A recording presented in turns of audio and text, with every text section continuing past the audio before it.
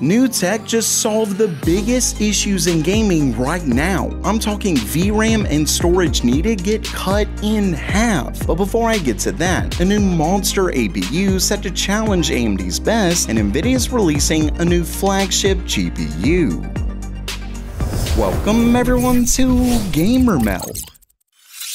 Okay, it's news time, and first up for today, Intel is apparently planning to hit AMD right in their APU. And I don't mean their regular mobile lineup, I'm talking about AMD's monster Ryzen AI Max APUs. As you can see right down here, it says Intel is reportedly preparing Nova Lake AX, a high-end laptop SoC. Now it says laptop, but just like AMD's Ryzen AI Max, they'll almost certainly come in small form factor desktops and things like that. Either way, it combines a massive 52 core CPU complex with an expanded Xe3 graphics tile.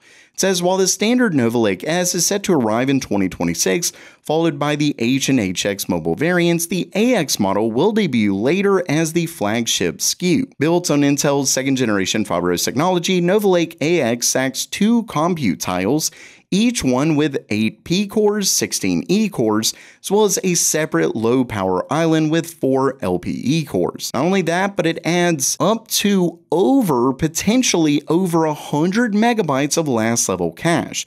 And of course, this is what feeds the CPU cores as well as that new iGPU. What's wild about the iGPU is that it potentially scales up to 20 to 24 Xe3 cores. For reference, Intel's current gen Arc B580 comes with just 20 Xe cores. And of course, this is their Xe2 cores, not their newer Xe3 cores. Basically, this bad boy is set to be one monster of a chip. I mean, just the fact that we're talking 52 cores in a notebook CPU is unreal. Then we're even talking pretty decent desktop level of performance in the iGPU. Basically, Intel is not playing around when it comes to Nova Lake, and hopefully they do deliver, but of course, time, as always, will tell. But first, I've got to say it. GPU prices are still completely insane. I mean, what is this? Luckily, there's a new place that was built specifically to help gamers get hardware at reasonable prices, and they sponsored today's video so I can tell you all about it. It's called Jawa, and it's the number one online marketplace built for gamers by gamers. But ultimately, it's a place where you can get awesome deals on PC hardware, like this very nice GTX 1650 for just 90 bucks, or this 3050 for 150 $55. Or what about this Ryzen 5 3600 for 55 So whether it's CPUs, GPUs, motherboards, or even peripherals, Jawa has what you're looking for. And if you're worried about getting scammed, don't be, because Jawa offers buyer and seller protection policies to ensure everything is legit. And if you can't afford the part you're looking for, sell your old GPU directly to Jawa to help offset the cost. If you don't want to build your own PC, Jawa also has tons of boutique pre-built built PCs. Basically, when you're ready to save money on your PC build or have one built for you, check out Jawa today. And next up for today, NVIDIA's CEO recently sat down with US President Donald Trump, and apparently they came up with an agreement that would allow NVIDIA to sell more powerful GPUs to China. That, of course, might throw a wrench into their Double D plans, or V2 if I have to call it that, but it opens up plans for a new GPU that's looking very interesting. As you can see right down here, it says After months of regulatory hurdles and revenue fallout, NVIDIA is poised to initiate a bold comeback comeback in China with its upcoming RTX 6000D, a strategically modified Blackwell based GPU designed to satisfy current export controls and restore lost market share.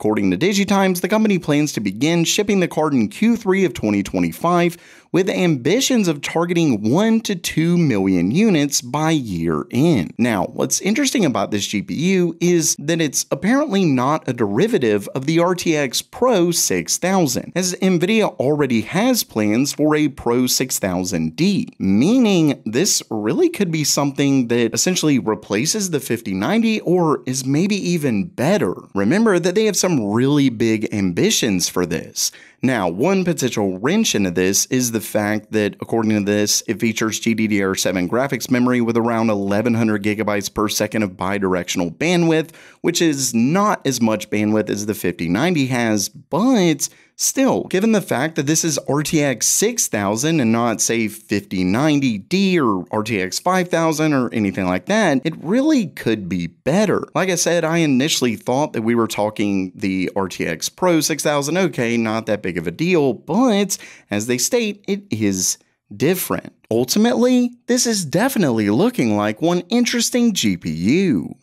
And lastly for today, I have what's probably one of the biggest stories of the year so far. As many of you know, game requirements have been going through the roof lately, with two major things causing some serious issues VRAM and file size. Video memory requirements have been getting so high that 12 gigabytes is starting to look like it's not enough, yet GPU makers refuse to give us more, and storage requirements are reaching absurd levels with 100 gigabyte downloads becoming the norm. Luckily, we finally have an answer, and it starts with NVIDIA's Neural Texture Compression. Now, we first saw this a little while back in a research paper, but it's since been made a reality through support in RTX Remix, and we now have an official demo, which I'll get to in a second. But essentially, Neural Texture Compression, or NTC, is a new compression technique that uses a neural network to decompress textures in real time. And what's wild is that your compression ratio goes from 6 to 1 with traditional compression like BC7 to as much as 16 to 1 with NTC. Well, like I said, there's a new demo that uses both NTC as well as Microsoft's new cooperative vectors,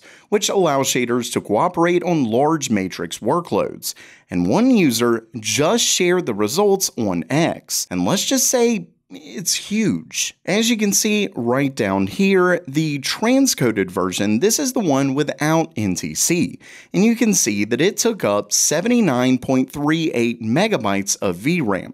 This is obviously just a demo, so it's not like a huge game or anything like that, but I'll actually get to a real world example in just one second. Either way, as you can see, once you then turn on NTC, it brings that all the way down to 9.2 megabytes of VRAM.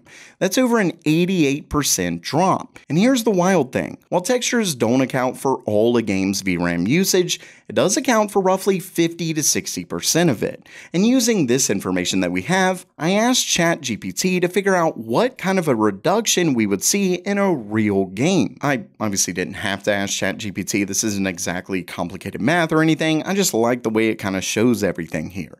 Either way, as you can see, the game it used is Hogwarts Legacy, and in it, it normally gets total VRAM usage at 1440p Ultra around 11 to 12 gigabytes. And like I said, textures account for roughly 50 to 60% of that. So if we're looking at 12 gigabytes total VRAM, 6.5 gigabytes are accounted as textures, with 5.5 gigabytes for everything else. And then if we take this math with NTC, we're looking at 0.76 gigabytes for textures, which brings the total VRAM usage of 6.3 gigabytes meaning with NTC, if this game used it, we would be looking at around a 47% reduction in total VRAM usage. And that is obviously huge. That would mean GPU makers wouldn't even need to release GPUs with more VRAM. It would be as if all GPUs magically got double their current memory. And things get even better from here, as he also states that NTC can be great for download sizes as well. It says your your next AAA games could be 50 gigabytes smaller. Basically, this is something that could completely turn gaming on its head, helping to finally reduce costs for gamers. And better yet, both AMD and Intel are working on their own versions of it. So while that does it for today, what do you think about NVIDIA's new tech? And don't forget to visit Jawa down in the description below. And as always, have a great day.